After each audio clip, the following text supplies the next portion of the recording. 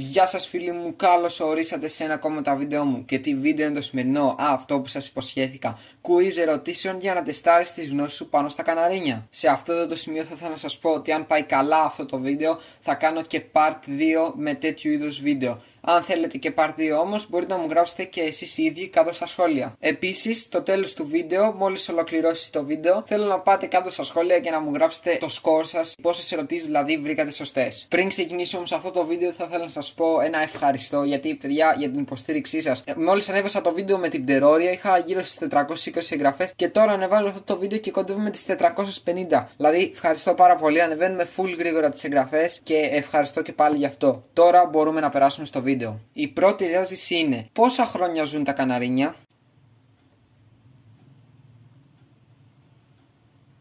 Η απάντηση είναι 10 με 12 χρόνια. Πάμε στην επόμενη ερώτηση. Ποιες είναι οι τρεις κατηγορίες που χωρίζουμε τα καναρίνια;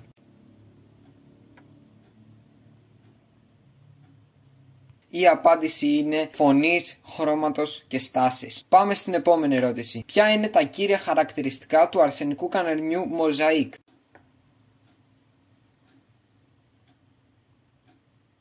Μπορούμε να ξεχωρίσουμε το αρσενικό μοζαίκ από την κόκκινη μάσκα και τις κόκκινες στερούγες. Πάμε στην τέταρτη ερώτηση. Σε πόσες μέρες σκάει το πρώτο αυγό των καναρινιών.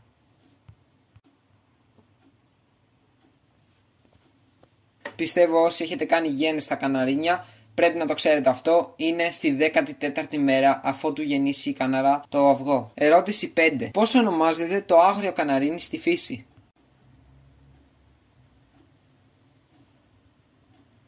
Ονομάζεται Σιρήνους Κανάρια ή αλλιώς Σιρήνος στα ελληνικά. Επόμενη ερώτηση. Ποιο είναι το κατάλληλο μέγεθος ενός κλουβιού για ένα καναρίνι;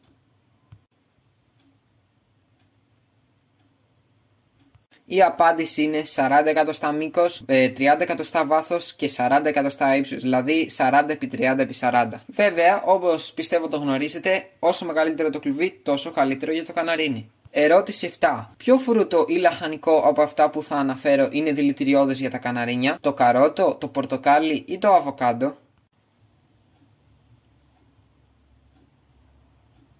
Η απάντηση είναι το αβοκάντο φυσικά. Ερώτηση 8. Ποιος είναι ο πιο σίγουρος τρόπος για να ξέρουμε σίγουρα αν το καναρίνι μας είναι αρσενικό ή θηλυκό;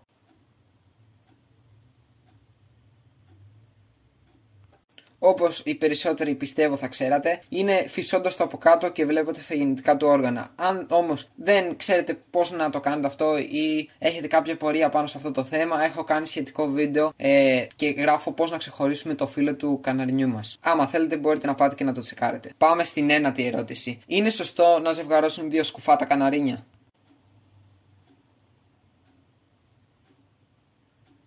Όχι βέβαια, γιατί υπάρχουν αρκετές πιθανότητες να βγουν φαλακρά τα μικρά τους. Η επόμενη ερώτηση είναι: Τα φρούτα και τα λαχανικά πρέπει να τους τα δίνουμε ξεφλουδισμένα ή όχι;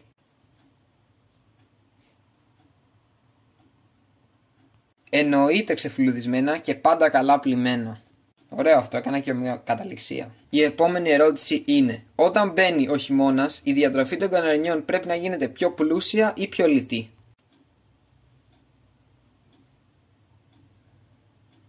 Πιο πλούσια ώστε να μπορούν να αντέξουν τα κρύα του χειμώνα. Και πάμε στη 12η ερώτηση. Σε πόσους μήνες ένα νεαρό καναρίνι ξεκινάει να κελαϊδάει.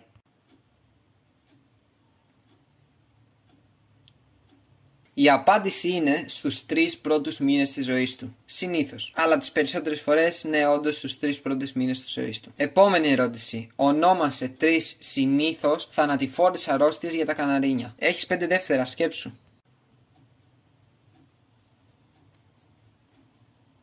Είναι ακάρια τραχίας, καρίνα και λίμωξη αναπνευστικού. Και πρώτη τελευταία ερώτηση, με ποιους δύο τρόπους μπορούμε να κάνουμε μπάνιο τα καναρίνια μας;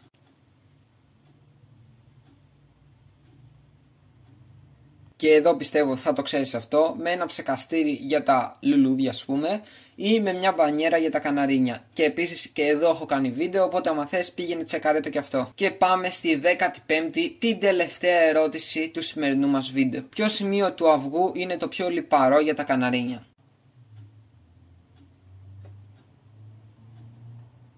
Είναι παιδιά ο κρόκος του αυγού. Και παιδιά φτάσαμε στο τέλος του σημερινού μας βίντεο. Δεν έχω ξανακάνει τέτοιου είδους βίντεο δηλαδή με quiz και τέτοια. Πείτε μου κάτω στα σχόλια αν σας άρεσε αυτό το είδος του βίντεο ώστε να κάνω και part 2 αν θέλετε και βέβαια το πιο σημαντικό μην ξεχάσετε να γράψετε το σκορ σας. Πόσες στις 15 ερωτήσεις πιάσατε.